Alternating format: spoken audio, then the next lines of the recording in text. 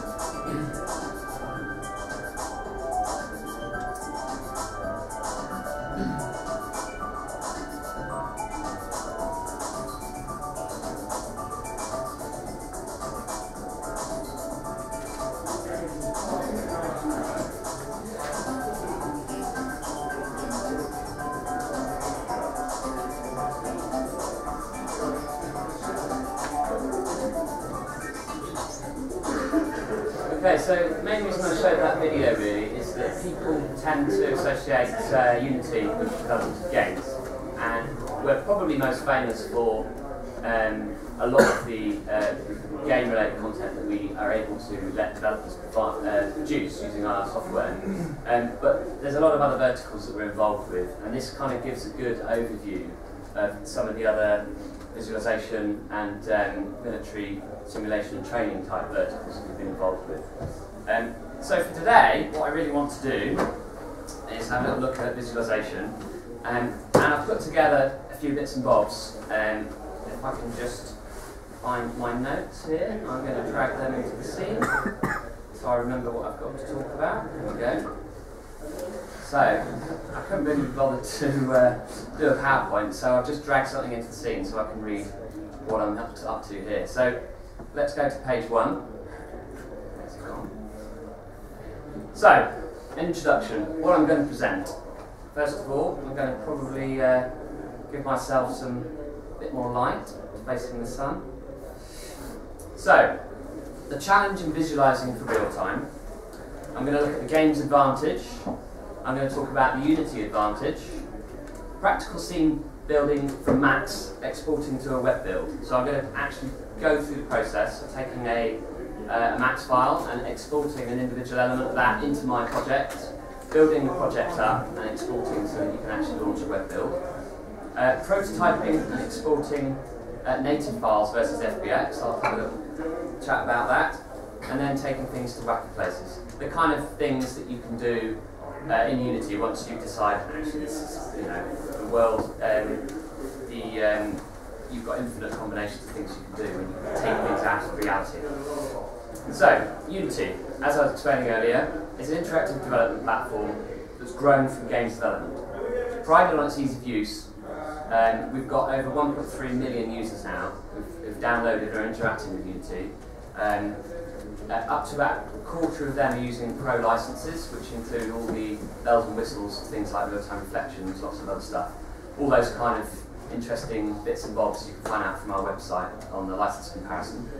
Um, but it's really extensible, uh, and we've got a huge community of users through the Unity development, developer network. All of this is free to join, free to use. Uh, there's a whole bunch of resources for people that want to find scripts, shaders, tutorials, all sorts of ways of doing things, in addition to our asset store, which is like our in-game, uh, sorry, in-engine, um, um, effectively it's like an iTunes for game assets or interactive elements, scripts, any of that kind of stuff. So people can people can actually develop their product and at the end of it they go, well that's cost me a lot of time to do that and they might say, well I can get some of that time back by selling all the bits that I've created for my project back onto the asset store. That's quite an interesting uh, way to look at things. So, the real-time advantage. What is the advantage to visualizing something in real time? Well, obviously it's interactive. Uh, video, you watch from beginning to end, enough said really. An interactive uh, environment allows you to explore the product, the environment, the architecture, whatever it is you want, uh, in, a, in a way that you just obviously can't do with video. Uh, it's accessible. You can put these kind of interactive applications on the web, on phones, tablets, pretty much anywhere these days. And you've got an infinite number of possibilities from that one set of authored data, your Unity project. And of course, there's no on-demand rendering time and cost because you've built your project together ready to be deployed to different platforms. The challenges of rendering versus something like web output are really the two extremes of visualization. If you think about a complex architectural project, uh, a client might ask to produce a video or an interactive run through or something. You're looking at using a very high-end piece of PC hardware, for example. You might be looking to render a, a video sequence overnight, you know, for 8 to 12 hours or something like that. Um, you know, just for a, a number of frames for a video. Whereas an interactive, an interactive um, product requires that you render 30 frames a second effectively on a much lower uh, power, powered machine, such as a tablet or an iPhone or a, um, or a PC or a Mac. Um, so they really are the opposite extremes. A lot of people come to us and say, I've got this huge project, oh, can I just stick it on the iPhone? The short answer is no, you can't. But you can create something that looks like what you want it to be based on your source stuff. There's lots of, lots of processes you can use, and that's where you come to the games advantage. The games industry really has been born out of developing and optimizing graphical content for very specific platforms. Things like consoles, which had very specific graphics hardware. Things like uh, new mobile phones uh, hardware that have been coming along web platforms, specific PC or Mac or console requirements. So what's come out of that industry has been a lot of techniques uh, that you can use to apply to try and help a very big, complex and expensive rendering time project into something that's a bit more useful and uh, available on much lower spec hardware. So games dev has required harnessing of that kind of specific hardware and squeezing every ounce of performance. some of the top methods for kind of working with these techniques are creating only what you need to see. This is obviously a great example of this at the moment. Make fences. If you can't see what's over the fence, don't worry about it. I'm just going to create a movie set for what I need to do. If you've got an entire city that can still be rendering behind a fence because your camera may occasionally jump up a bit like that, then have a think about what you're actually doing. Likewise, if you're actually looking at um, your notepad, you can optimize meshes. You can think about ways of turning your very complex geometry into simply a set of boxes and lots of normal maps. Uh, obviously, a set of boxes is not a very interesting way of looking at things, but there's a whole suite of tools for optimizing meshes in things like 3D Studio Max and Maya. You've got Pro Optimizer doing a pretty good job now. You've got third-party tools. So think about your target platform and what you want to output. Skyboxes. This is another good one. Why build a city when you can have a nice picture of one? So you can render what you want out to a nice skybox. Why would I need to render all those mountains as 3D geometry and um, uh, face me billboards sitting on the top of there when I can actually render out a pretty good picture once I'm behind the fence? So what I'm going to do for convenience is very quickly move my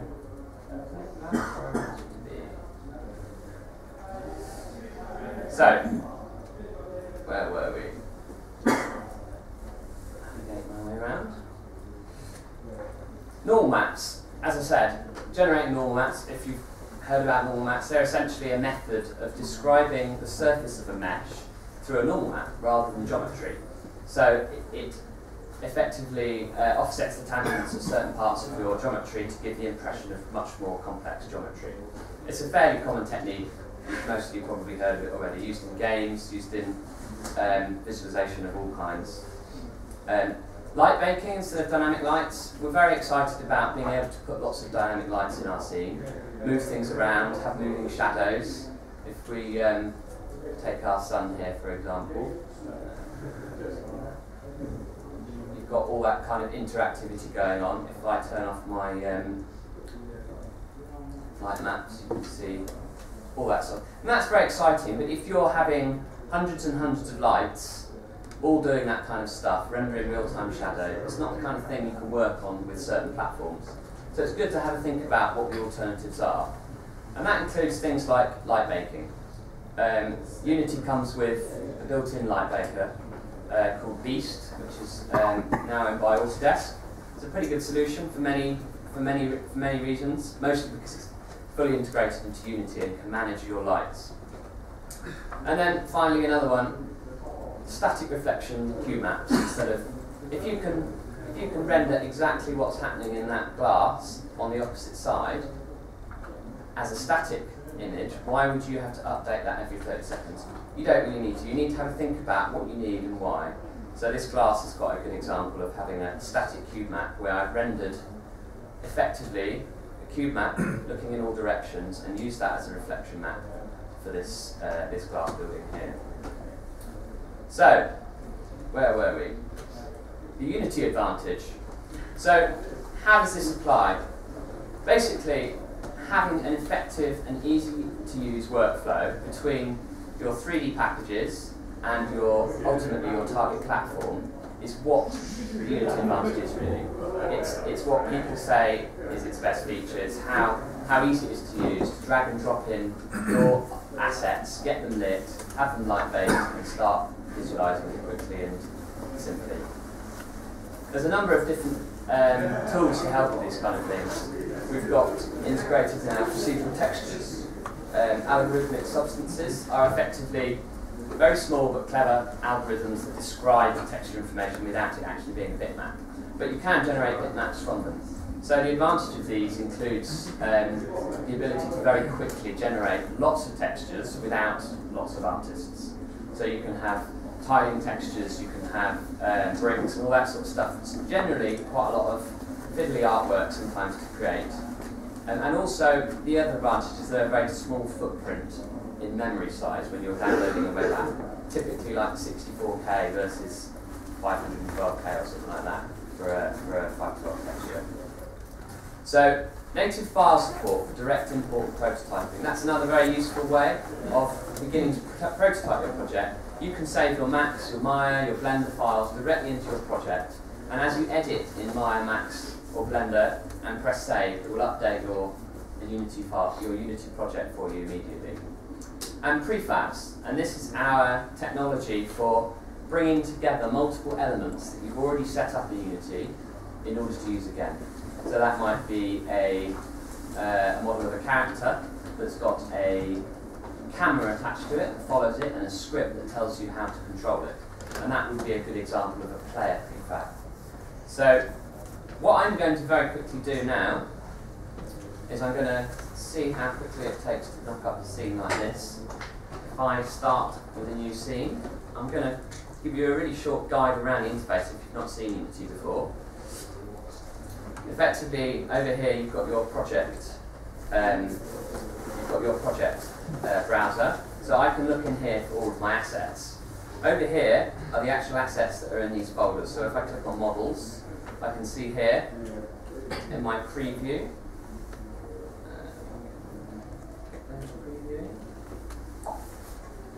There we go. So all my models I can preview in here. I can even preview multiple models by holding shift down. It's very handy. Um, and at the point at which I've got um, one item, or a even a prefab, I'm going to, in this case, drag terrain into my scene. So you can see this has got a bit of patchy grass on it already. So to say that I've completely created that from scratch now is a bit of a lie, because it's a prefab, and I've already painted out a bit of the grass there. But suffice to say, there's an entire terrain system built into Unity that will allow you to create this. I just don't want to waste the whole session showing you how to use just the terrain tools. So I've pulled in um, terrain there. I'm going to pull in a sun, or actually, I can actually create one from scratch much easily. From game object, create other directional light. So that gives us the ability to rotate. Let's get some other items in.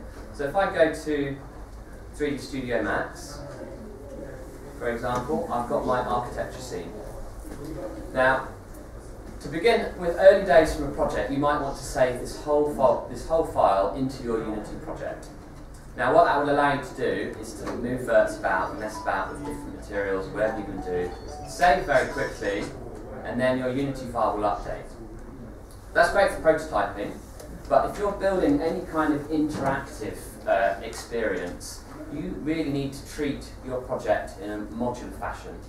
For example, the interior, I've broken this whole project up into um, layers using 3D Studio layers. So if I hide the base, uh, the exterior for example, I can see there's elements of this that I will need to collide with when my character wants to walk through the building, and there's elements of it that I won't. So I tend to divide my projects up into the elements that I wish to have collision attached to, and the elements that I don't. Purely because if your render, if your game engine is trying to collide with everything in your scene, you're going to cause a lot of um, slowdown in your performance because you don't want to be constantly calculating. So, for example, steps can be quite expensive. One simple way to um, get around that is to literally create a flat collision mesh that can help me glide up. So I haven't got to literally think about colliding with every individual step and lintel part and all the details. Likewise, I'm never going to need to, to collide with these roof bits. So once I've divided my um, my setup into modular sections, for example, the exterior, I'm going to select everything from the exterior there, and I'm going to do File, Export Selected, and I'm going to go into my Models folder. I'm going to call this Exterior 3, just so you can see it's fresh. Um, and that gives me my FBX exporter dialog box. And when I go back to Unity, you can actually see very quickly uh, importing that one there.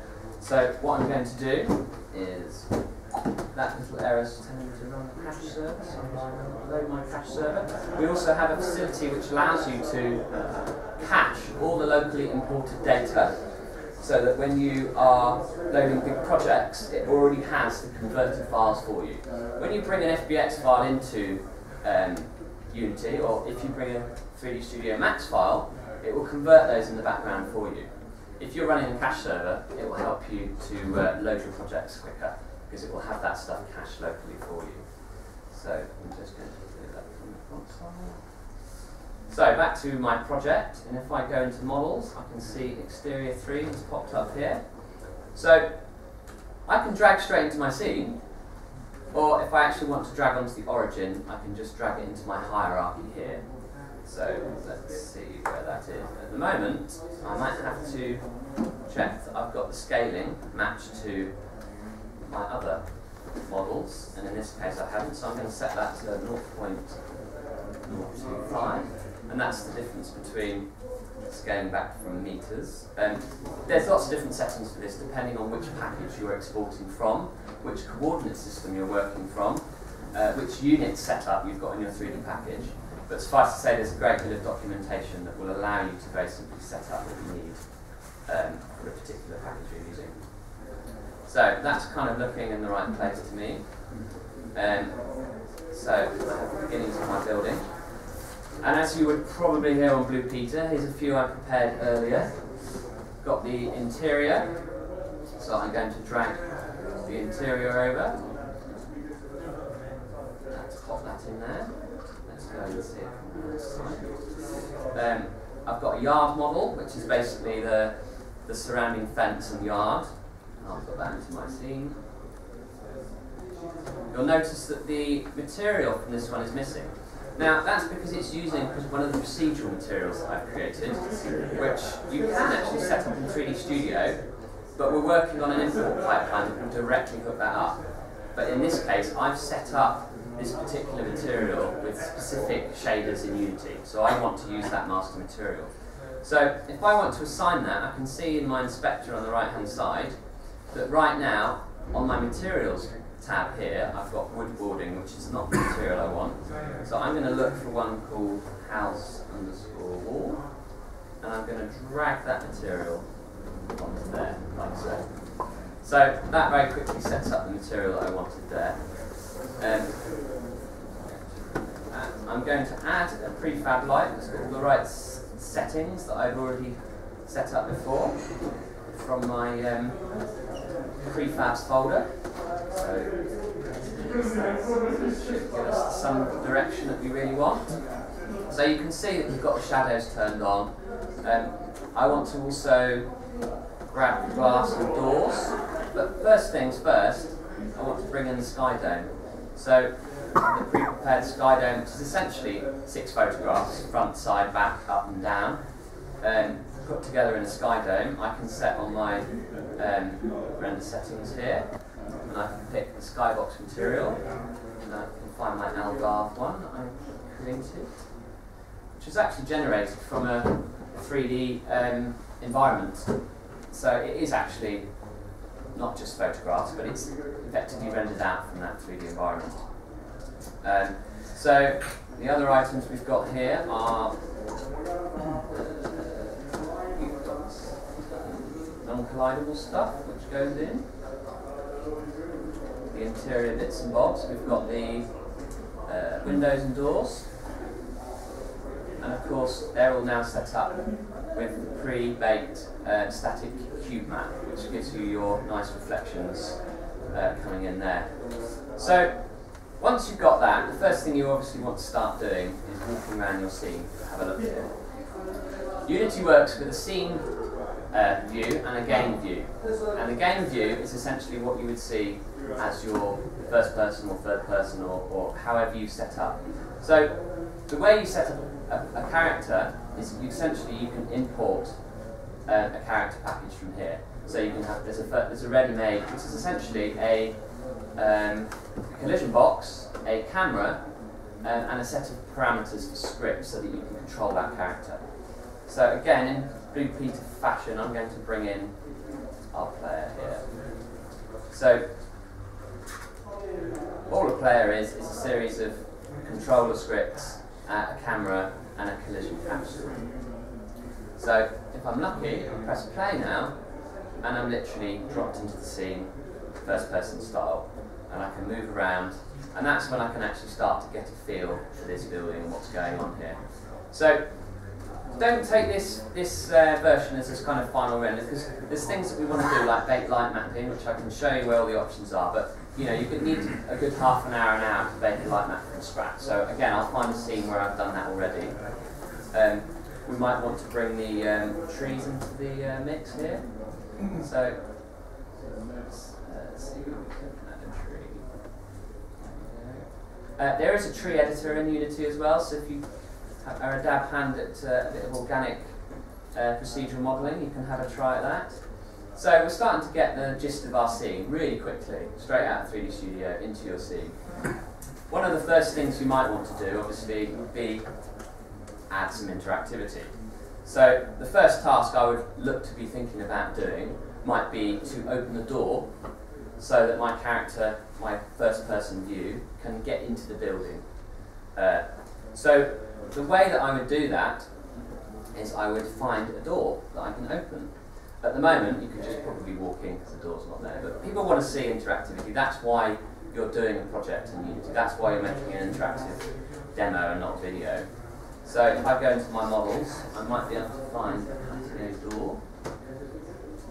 Uh, and I might be able to find a front door. So at the moment, if I rotate that door, it's not really going to help me get in there. So what I'm going to very quickly do is I'm going to create a hinge joint, which is a pivot essentially around which I want the door to pivot.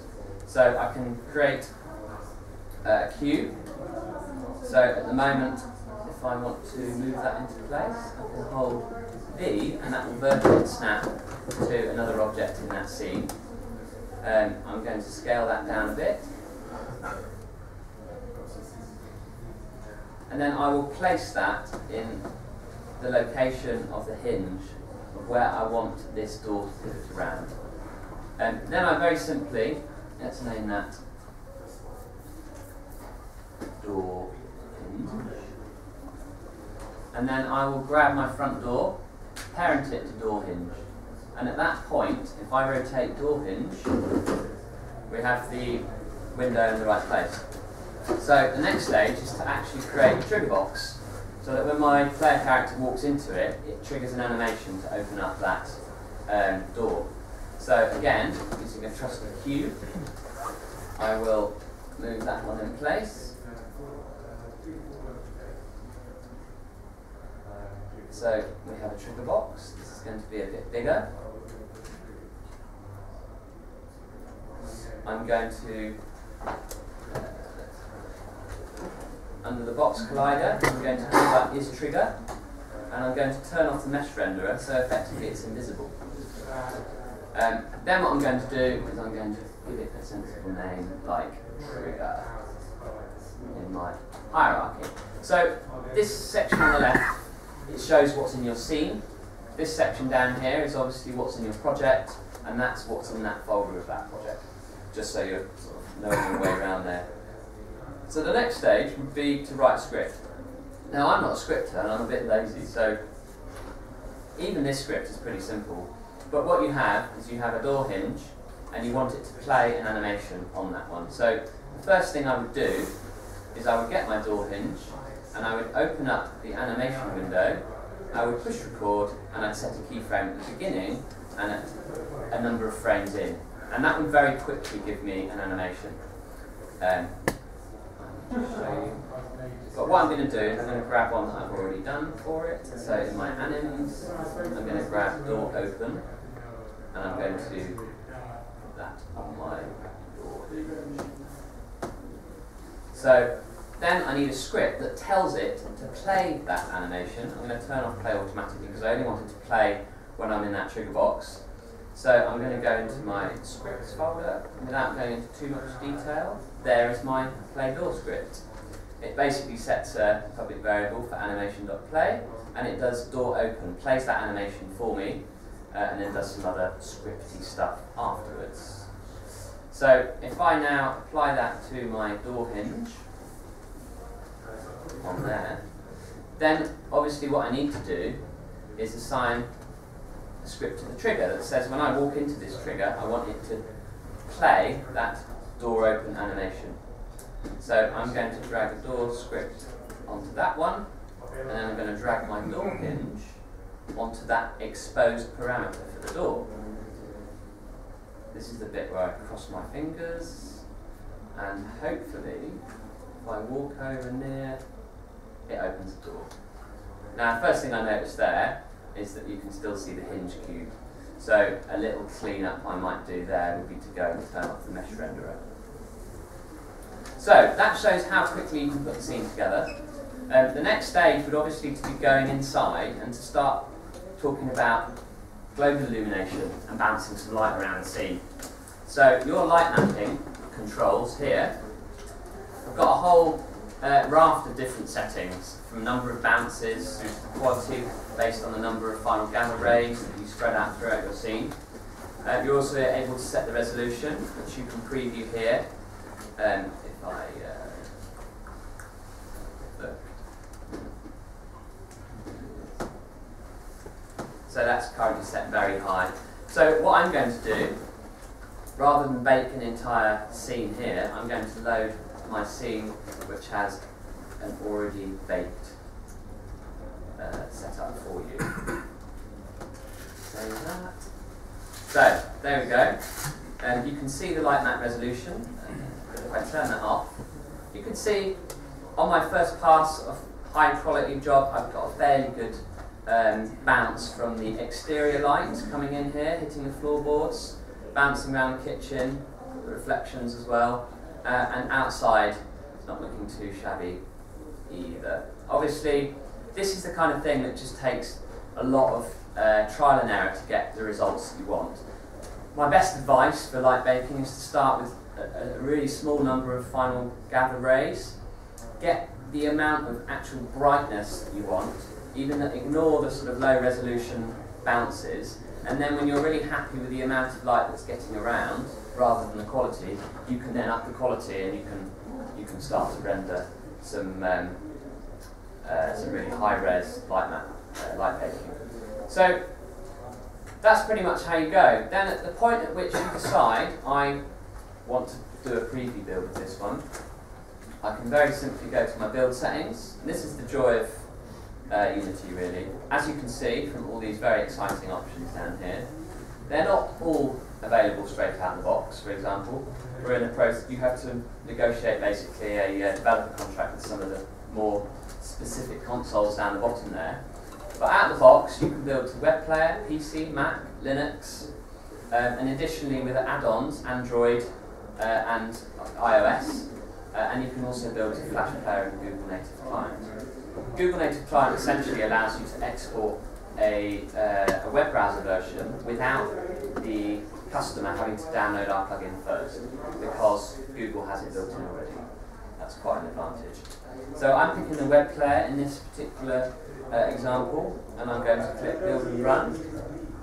I'm going to pick a place where I'm going to build it to. So let's go then test like final. Final. Okay, I'm going to select that folder. And what it will essentially do is it will do a bit of compression, it will put together and compile your player experience and make it a deliverable uh, web package that you can then host on a server for your clients to view if you're doing a work in progress. You can publish it as a finished product if that's what you're doing. And of course, once you've bought Unity, there are no after after costs for licensing, for any that kind of stuff. Your content is your is what, what you like to do with it basically. It's, it's there for you to do as you will. Um, additionally, the kind of things that you can um, have a look at once we once we're building that one. Interior light bounces pretty pretty good to uh, muck about with. I'm just going to. Uh, um, and you, are able to get some really, really nice details in the quality of the light bake. If it's still not doing what you want, or you have a specific setup in 3D Studio with V-Ray or any other renderer, you can also import those light maps. Um, you can also start to work with really wacky and wonderful environments and everything from sort of sci-fi or game-inspired stuff through to uh, fantasy, strange lands or whatever. You don't have to set your visualization on Earth if you don't wish to. And that's kind of a bit of the games angle coming in there. So we'll see how we're doing with our build. That's doing the compression bit. Let's take a little bit of time. Um, while it's doing that, I'm going to quickly open the floor to any questions, and then hopefully we'll have a web player build to uh, have a look at. Um, illumination, uh, will it work on Android, the web player? Yes, There will be limitations um, on the output. It's not real time, obviously, it's baking a light mapping solution for you. Uh, when you deploy that to the Android or the iOS platform, that is kind of the recommended route that we, we recommend you take because baked light mapping is going to be, let me just reconnect to the internet there.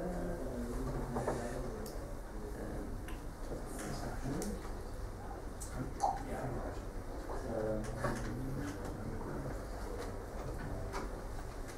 uh, it needs to be connected to the internet. Where's my connection?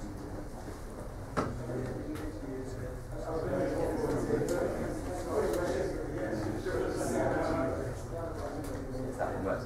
Yeah, so essentially, if you're um, outputting to Android, any of the light maps that you're building will be available to that deployment. Obviously, the, the joy of working with Unity is that you can specify the resolutions that you might want to output in four different platforms, but all from one project. Just, uh, has anyone got connection to this? One of these connections here? Let's try that one. So I have ticked build for offline deployment, but if my um, Unity web player wants to just do a quick check for the latest version, then I need to be connected to the interwebs. So have a look. Uh, doesn't work. Let's try that again. There we go. Come on.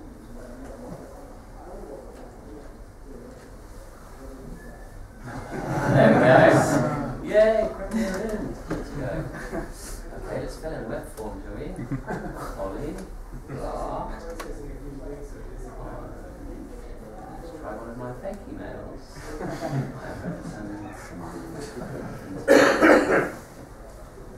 Everyone needs a junk email account, don't they? So you're logged in and connect to the internet. Really good. Bam, so quick test. Bingo. Bingo. Little delay. That, that little check. Just, oh, is this the latest version? Even if I've already got it there, and that's that's what Is this the latest Unity version, Unity 4? 4.0, yes. I'll do a very brief rundown of some of the latest features. So, if I uh, go full screen, obviously it needs a few tweaks, but this is what you can see. You can come up with literally in half an hour from max model through to exploring my building. Uh, I thank you very much. Okay.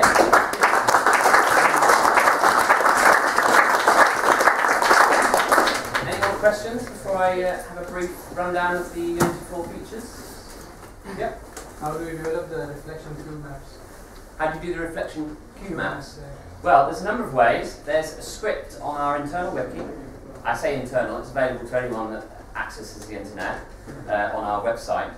And what that script will do will allow you to place a, um, a marker in your scene that will then render out a view from each one and create a cube map for you. And it, there's two variations of that script. You drag that script into your project and you have a static version which will generate you a static cube map from anywhere in your scene.